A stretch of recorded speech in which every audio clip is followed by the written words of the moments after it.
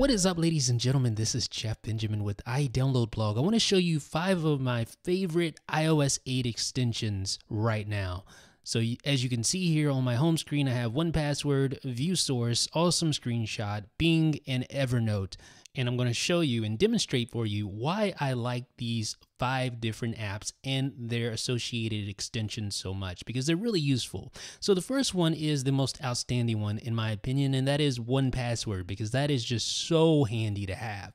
So I'm going to show you here. I'm on Google's website. I'm going to try to log into Google, but with 1Password I actually don't have to type anything. I can just use the password stored. I use the share button at the bottom of the screen. You see the 1Password extension there. I tap that. It's going to request that I use Touch ID to authenticate which I will do. Notice I'm not typing anything, no keyboard appears.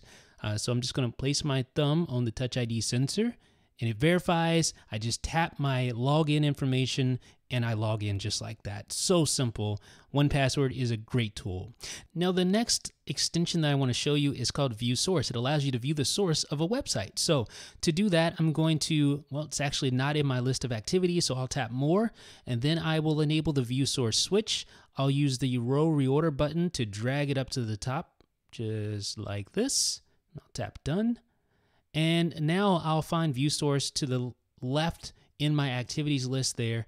There's view source. So all I do is load up the web page that I want to view the source on, tap the view source button after tapping the share button, and there you go. There's the source of iDownload blog there. And then you can obviously go in, copy, and share the source of iDownload blog. You can just tap the uh, share button in the upper right hand corner like that. You can see you can copy it to the pasteboard, send it as an email, toggle highlights, choose a theme, etc. So this is extremely handy, especially if you're a web developer or if, even if you just like to dig around and see what's going on with any particular website.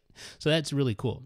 The next one is Awesome Screenshot. I've actually covered this before on the Mac, but now it is on iOS. It is well, it lives up to its name. It's awesome. And the really nice thing about Awesome Screenshot is its extension in Safari. So, for instance, if you open up Safari and then you tap on the share button, you can use the Awesome Screenshot extension to take a screenshot of an entire web page. Yes, from top to bottom. Or you can just take a screenshot of the portion of the screen that's showing at the moment. So I'm going to tap the awesome screenshot button and then you see at the top full page and visible. So if I want to take a full page screenshot, I can tap full page or I can just tap visible, which I'll do now. And there is just the visible page taken just like that. It only captures the web page. It doesn't capture any of the other UI on the actual browser. So that's really cool. You can even crop and further define the portion of the web page that you want to capture. And you can even use markup tools such as a circle or an arrow. You can draw right on the screenshot and then save that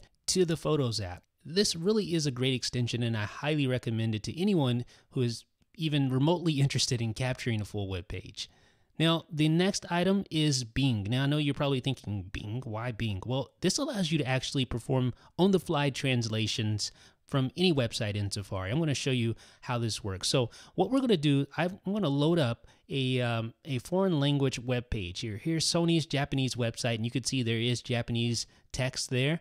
Um, obviously, that's not going to be able to be read by someone who doesn't speak Japanese. But if you have the Bing extension, you can quickly translate that on the fly without leaving Safari, which is really awesome. So you see there, Bing Translator, just tap on that, and you can see it translating right there on the fly, and it's done just like that. So now we have English text where those buttons were. You see that? Now I can actually read what those buttons are and I can tap on the one that I want to. For instance, if I was interested in the PlayStation, I would tap the game button. Now I can actually read it. This is a very awesome extension and again, I highly recommend it.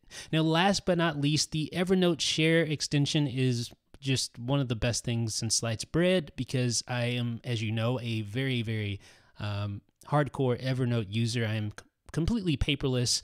Well, almost to, to a certain point. I'm completely paperless. I use Evernote all the time, and uh, this makes it easy to capture web pages and send them to, send them to Evernote. And it doesn't just work with web pages; it works throughout all of uh, iOS. So you can share certain things to your notebooks in Evernote. But in this example, I'm just showing you how you can share a website directly to a specific notebook. You can choose that notebook directly from the Evernote Share extension. So this has been an overview of five different different applications and their corresponding extensions. Highly recommended apps.